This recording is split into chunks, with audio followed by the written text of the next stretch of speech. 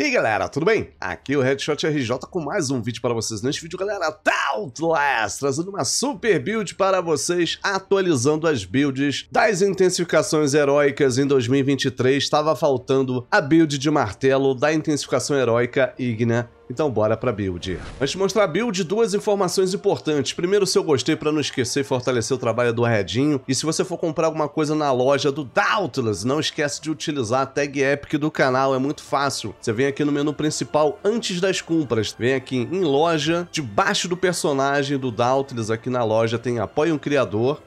Você digita tudo em maiúsculo, tudo junto. Headshot RJ e dá aceitar. Você acessa novamente debaixo do personagem, você está atualmente apoiando o Headshot RJ Faça isso antes das compras, vai gastar sua platina, seja qualquer coisa. Clube do Slayer, passe, pacote na loja, utiliza a Tag Epic, isso ajuda diretamente o canal. Muito obrigado, galera que está utilizando a Tag Epic. Bora pra build. Seguinte, martelão aqui do Urska Ciclone Bomba. Olha o nome dessa arma, meus amigos. Nova célula Impulso, nova célula Conservação, tá? Essa aqui não é uma build fácil. Daqui a pouquinho, em mais ou menos 6 de julho, vai estar tá dropando as novas células da contenda, né? Vai acabar a temporada agora dia 22 da contenda, duas semanas depois, oficialmente, cai as células nos núcleos, fechou? Especial Poderoso Quebra-Terra, sempre o mod pente estendido. Vinculei aqui a arma do nosso Frost Wolf, que vai dar mais 3 de galvanizado. Onicélula do Bastião para dar escudo. Lanterna do Shrike com catalisador. Capacete do Shroud com dominação. Peitoral do Alira com conservação.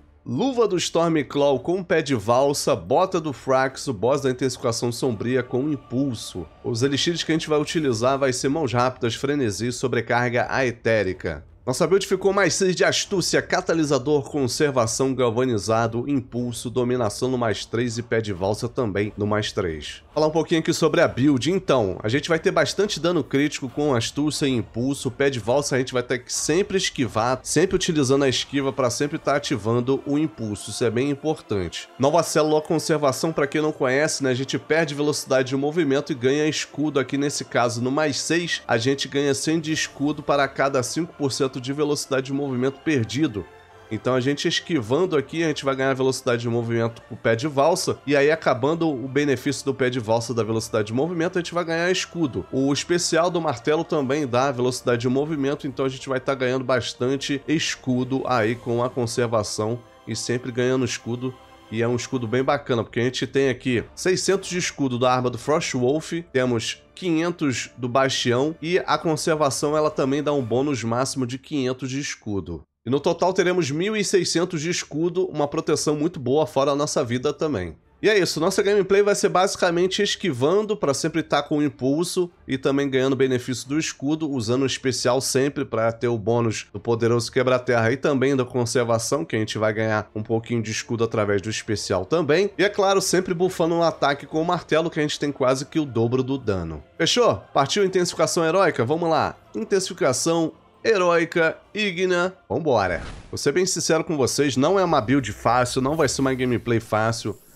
Eu fiz essa build aqui justamente para a galera que joga de martelo. Se você não tem o um caminho do Slayer completo também vai te atrapalhar, porque precisa de muito dano aqui na intensificação heróica. Então tem que ter o caminho do Slayer lá completo, tem que ter as reforjas. Vamos lá, Elixir de velocidade, de dano e de lanterna também. Ele vai girar, não tem problema ele girar. A gente tem um escudinho aqui do Urska. Vou tentar usar aqui. Não tem problema, a gente faleceu, acontece. Temos três seringas, então a gente vai ter que usar essas seringas em algum momento. Sempre bufando os ataques. Outra coisa, usar o especial e esquivar, tá? Vambora. E é isso, a gameplay vai ser basicamente essa. Bufando os ataques. E, se der, esquiva pra frente dele bolinha ali, ainda bem que a gente não pegou fogo, eu tava tentando esquivar dele. Esquiva. Especial. O especial do martelo, ele dá um pouco de velocidade de movimento. E toda velocidade de movimento que a gente ganhar, a gente vai ganhar escudo. Então isso é muito bom, cara. Muito bom mesmo. Ó, uso especial. Pode ver que ele dá um buffzinho, tipo de uma botinha ali, né? Então, todo buff que tem essa botinha, a gente ganha escudo. Boa, ajudou nós. Ele vai gritar de novo, né? Ele vai ficar nervoso de novo. Perdemos vida, não tem importância. Deixa eu pegar um pouco de estamina aqui. Vamos ver. Sabia que ele ia fazer isso. E o Elixir de Lanterna vai ser bom porque a gente precisa daquele amp que a gente... Tem um amp do Torgadouro, né? Pra galera nova que não conhece. Tem um amp que você utiliza a lanterna e fica com estamina infinita por 16 segundos, né? A gente vai precisar desse amp. Então, é de suma importância para a gente passar com tranquilidade o Torgadouro. E é isso. Dá uma esquivada aqui, finalizamos aí tranquilamente, tirando aquele começo ali, que ele rodou e a gente tomou o dano, né? Mas acontece, às vezes acontece a gente tomar o dano ali, não tem problema. E vamos aos amps, é claro que a gente vai pegar esse aqui, né? Esquivar e ganhar 20% de dano. Inclusive essas bolinhas azuis aqui, elas dão velocidade de movimento e a gente perde elas depois, elas viram um escudo, tá? Vamos lá, elixir de dano, velocidade e de lanterna, já que são dois. Eu vou focar no, no porque eu tô com arma de gelo e esse Gnasher é de fogo, eu vou dar mais dano nele. Tá? Vamos aproveitar aqui, botar um escudinho e ele não caiu no escudo. O jogo trollou nós, não tem problema. Dá uma esquivada. Cara, tem que esquivar direto. Não é só o impulso, é também o escudo, tá? A gente vai perder o benefício da velocidade de movimento e vai ganhar o escudão. Temos que finalizar rápido. Tô perdendo até a voz. Temos que finalizar rápido aqui o Gnasher. Vou esquivar. Especial. E bufando o ataque. Ó, vamos esquivar aqui de novo. Calma. Só recuperar um pouco da estamina. Ó, ganhamos já 500 de escudo. Vou soltar aqui a arma do Frostwolf. Esquiva de novo. Especial, ele vai parar, a gente... Dá porrada nele. A gente tem que matar ele antes do Elixir acabar. Pra justamente a gente não ter problema com o kill shot, né? Pegando fogo não, né? Então tá safe, né? Finalizamos aí o Gnasher com sucesso. Agora a gente vai partir aqui pro Killshot, né? Te deu sorte com essa dupla, né? Nem quero ver a última dupla. Vai ser terrível, né? O jogo pegou leve com a gente. Então significa que a última dupla vai ser punk, hein? Vou finalizar esse Killshot aqui, daqui a pouco eu volto, porque vocês sabem que Killshot é de boa, né? Vamos lá finalizar aqui o Killshot. Quando você vê que ele tá atacando muito, você vai lá e para de bufar o ataque, e aí a gente ganha estamina. E é isso aí, ó. Mil de escudo. Não usamos seringa. S na primeira dupla. Vambora. Vamos aos amps, e esse amp que eu tava falando para vocês aqui, ó, resistência de Torgadouro, usar a habilidade pressionada da lanterna ativa amplificações de Torgadouro, 16 segundos sem custo de estamina. Então a gente vai ficar aí com 16 segundos sem consumir estamina, isso é muito bom. A gente dá, passa montado em cima do Torgadouro, a gente pegou o Rezakiri Chamejante, ainda bem que foi sozinho, tá? Aqui provavelmente a gente vai usar dois Elixires, tá? Porque o Rezakiri, ele é bem chato, já vou usar de primeira aqui todos os Elixires, tá? E a gente vai tentar finalizar esse Rezakiri o mais rápido possível. Essa é a ideia. A gente não pode errar as esquivas, né? As esquivas são as mais importantes. Justamente... Como que eu falei o bagulho? E torcer pra ele não ter esse ataque. Às vezes ele solta esse ataque e ele te segue, cara. E é horrível, né? Vamos ver se a gente consegue atordoar ele aqui. Ele deu dois ataques. Encher aqui. Não podemos errar a esquiva. Errar a esquiva aqui é fatal. Dá uma esquiva pra frente. Vamos usar o especial. Eu pulo e uso o especial pra cortar a animação do especial, tá? Muita gente nova não vai entender. Ó, viu? Ele demora pra soltar o especial, então... Dá uma olhada pra cima. Tem que aproveitar o Elixir também, né? O Elixir de lanterna, o Elixir de velocidade e o de dano. Vou finalizar esse Rezakiri daqui a pouco eu tô de volta. Vamos lá finalizar aqui o Rezakiri. Já acabou todos os Elixires, tá? Acabou tudo, estou sem velocidade, sem dano. Então vamos tentar fazer milagre aqui de finalizar esse Rezakiri e não tomar dano aqui. Tentar não tomar dano. Porque essas bolinhas de fogo são fogo. Vambora. E tem esses bichinhos aqui pra atrapalhar ainda a minha vida, cara. Ai, que se pega. Vambora. Esquiva aqui. Essa, na minha opinião, é a parte mais difícil, tá? É a parte onde a gente tá sem elixir. É difícil de ganhar escudo. Então, ele fica atacando, fica atacando fogo. Ele não para quieto. Aí, esse fogo aí tem alguns que perseguem, então é complicado. Então a gente tem que ter o dobro de cuidado. E como a gente está sem muita velocidade, a parte da esquiva é prejudicada, né? Porque a gente dá um ataque e tem que saber a hora de atacar. Porque se não souber a hora de atacar, por exemplo, olha, olha a velocidade que é o ataque do martelo bufando. Então, ó, se ele dá um ataque assim, um ataque duplo, e a gente erra, com certeza a gente toma um dano. Ele não para, cara. Não consigo acertar. Cara, a parte mais chata é essa, mano. Às vezes eu, eu ganho um B, ganho um A porque ele fica assim, mano. Ele não para quieto. Ainda bem que a gente tá com escudo. Vamos lá, usar o especial aqui. Pelo menos ele não tá soltando... É... Muito foguinho, né? Só foi eu falar. Esse fogo aí dá bastante dano. Vamos lá, vamos lá. É agora, Rezakiri. Cai. Cai, Rezakiri. É, não caiu. Opa, morreu. Boa! Vamos usar os amps. Cara, vou pegar esse aqui que a gente vai ganhar chance crítica após usar a habilidade da lanterna. Vamos esquivar para ganhar escudo. E pegamos uma dupla bem difícil. Vou usar todos os elixires, tá? Menos o de lanterna.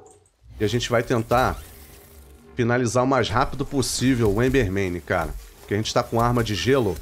Então, vamos batendo nele que nem louco aqui. Pra tentar finalizar ele o mais rápido possível. Dar aquela esquiva pra ativar o impulso. O Stormclaw tá de boa lá, então temos sorte referente a isso. Só foi eu falar, cara. Esquiva. E o Emberman ativou o modo rodeio dele. A gente já congelou ele. Não esqueçam de buffar o ataque, tá? Usa o especial. Esquivou. Especial. Isso aí, Emberman. Fica aí. Metade da vida. Errei aqui, não tem problema. Stormclaw não pode perturbar nós. Se o Stormclaw começar a perturbar a gente, boa.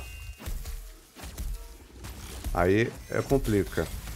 Especial, esquiva. Esquivei aqui.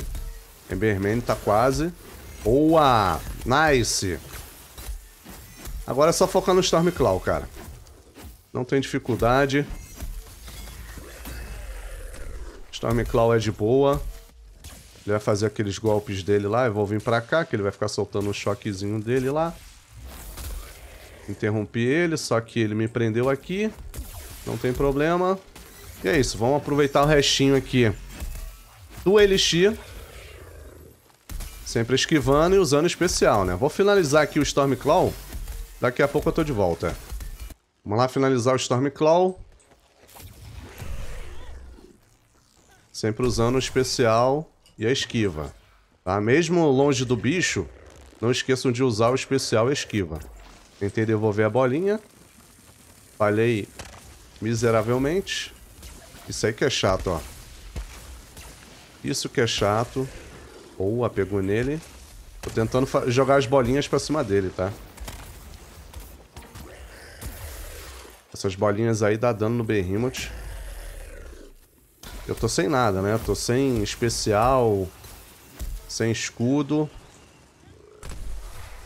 Beleza, não tem bolinha. Não vou tentar devolver, vou... Ah, não pegou nele, que mentira. Isso aí foi mentira, cara. Aquilo ali foi muita mentira, cara. Essa bola dá dano nele.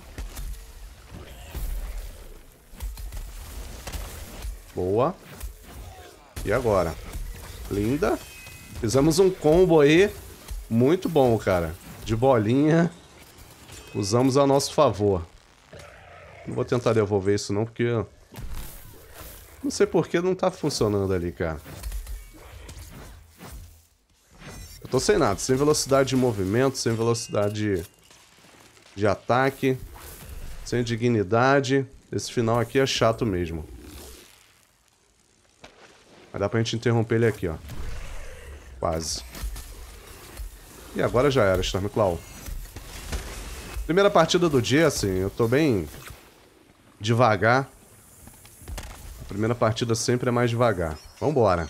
Vamos aos amps. Eu vou pegar esse aqui, ó, acho que vai através de um ataque a gente vai ganhar 20% de dano. E vamos lá pro Torgadouro, né? Pega esse aqui, vamos dar a esquivada para ganhar mais escudo também. A gente já pode usar o especial aqui também, se a gente quiser, ó.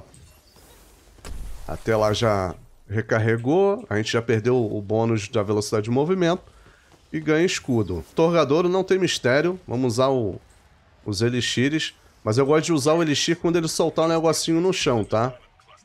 Quando ele jogar um negócio pra gente montar nele. A gente vai passar em cima do Torgadouro, tá? Vamos lá. Aqui a gente vai devagar mesmo. Mete o pé, isso aqui dá dano. Não esqueçam. Acho que é agora. Velocidade. Dano e lanterna. O elixir de lanterna não pode faltar, galera. Porque a gente vai ficar batendo nele. Ele virou, pulou. Vamos lá, usando um ataque fraco. Que o ataque forte é a munição, né? Usa a lanterna. A gente basicamente vai ficar fazendo isso aqui. Demora bastante? Demora. Mas é muito mais safe, né? Do que a gente passar no chão. Eu vou usar a lanterna porque vai acelerando o ataque, né? Ele pulou, virou, a gente pula dele. Basicamente agora a gente vai ficar olhando ele e olhando a estamina, né? Bugou, acontece às vezes quando fica colado na parede meio que buga, né? A animação, infelizmente. Queria ficar montado do início ao fim. A primeira vez que eu fiz ele, eu consegui passar ele de boa, só montado em cima dele, tá? Provavelmente ele vai fazer de novo. Vai, vai dar pra gente montar em cima dele. E aí é só subir tranquilamente aqui, ó. O elixir de lanterna tá ativo ainda. Olha a vida dele. Ih, ele caiu atordoado. Maravilha. Ó, o dano tá bacana, ó. O dano tá bem bacana. E olha a estamina. Usa a lanterna. O elixir de lanterna tá acabando. Mas ele tá indo já pra metade da vida. Daqui a pouco ele fica com metade da vida. E é isso. Virou, pulou. E aí é só voltar. Usa a lanterna de novo. Pulou.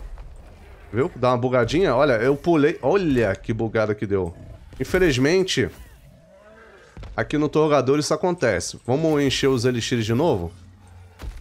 Vamos lá. Eu vou, dar, eu vou usar o elixir de lanterna só quando ele soltar um negocinho no chão pra gente subir de novo.